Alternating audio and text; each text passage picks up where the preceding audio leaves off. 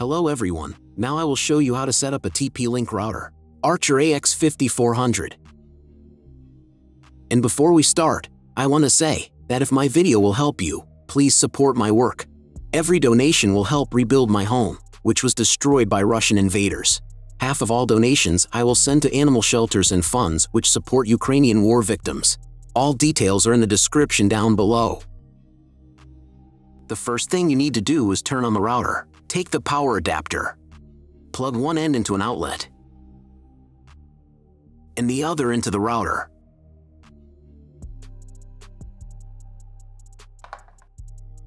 On some models, you need to press the power button.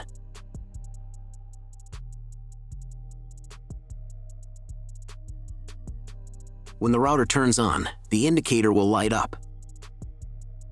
Then connect the cable from your broadband provider to a special port.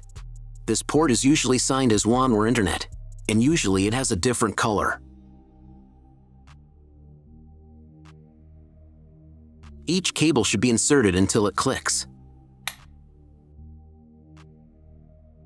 Next, insert one end of the Ethernet cable that comes with the router into one of the LAN ports.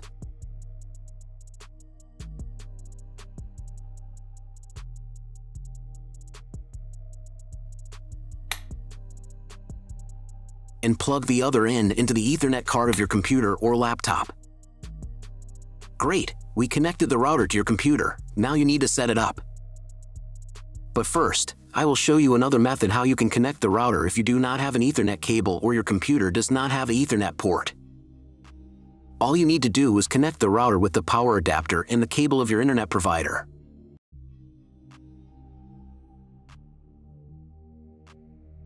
When you do this, your router will immediately distribute Wi-Fi, but the internet will not be available. If the router is new and has never been configured, the Wi-Fi network will be with the name of your router. The router name and Wi-Fi password are printed on the sticker that is located on the router. These credentials are different for each router. Connect to it. Great, you have connected to the router. Now let's proceed to its configuration. First, open your browser and go to the URL that you see on the screen. Use the address bar, not the search bar. If the link doesn't open, or you see a page with a password that you don't know, it means that your router has already been configured and you need to reset it to factory settings. Press the special reset button on the router for 5 to 10 seconds the indicators on the router will blink. Usually this button is inside the router case to prevent it from being accidentally pressed. In this case, press it with a thin object. The router will reboot and the settings will be reset to factory defaults. Then you can try to enter the router settings panel again. If your router settings panel looks not like mine, it means that your router has a different version of firmware. I recorded a video for each type of firmware. All links are in the description down below. So, first of all, you need to create a username and password for your personal account. Some firmware versions don't have this form, but if it appears, fill in all details and memorize them. Or better write them down somewhere, they will be needed the next time, when you log into your personal account. First of all, run the quick setup to manually configure your internet connection and wireless settings.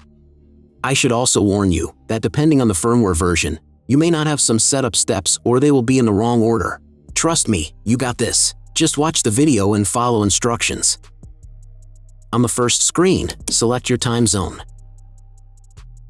If you don't remember which one you have, select any and click Next. On the next page, select the type of internet connection. Usually it is specified in the contract with your broadband provider.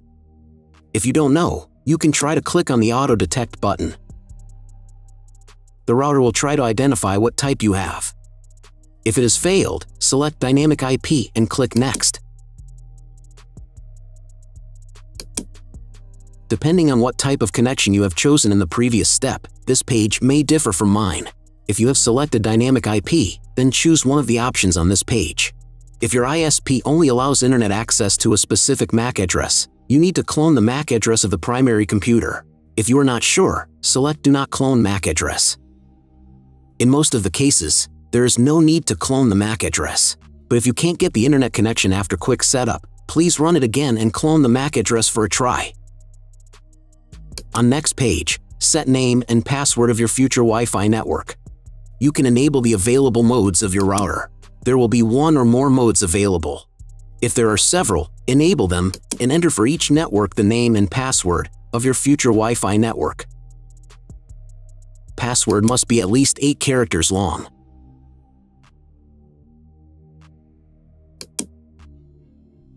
When you write the credentials, click on the Next button. On the next page, you will see all the information that you specified earlier. Click the Save button and wait until the settings are saved. On this page, you can configure TP-Link Cloud Service. Do not touch anything here, just click the Login Later button. Great! You have completed the quick setup process. Click Finish, and after a couple of minutes check internet connection. Just Google something. If there is no internet, then try to reboot your router. Press the reboot icon in the upper right corner. After rebooting, wait a couple more minutes. Maybe the settings are applied and the internet will appear. If the internet still does not appear, check again whether you have connected all the cables correctly. If after all manipulations you still have no internet, then go to the Basic tab. Then select Internet. And then clone MAC address. After that, save the settings. Reboot your router and after a couple of minutes check internet connection.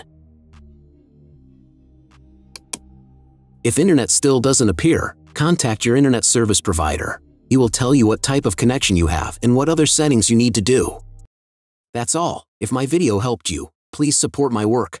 Every donation will help rebuild my home, which was destroyed by Russian invaders. Half of all donations I will send to animal shelters and funds which support Ukrainian war victims. All details are in the description down below.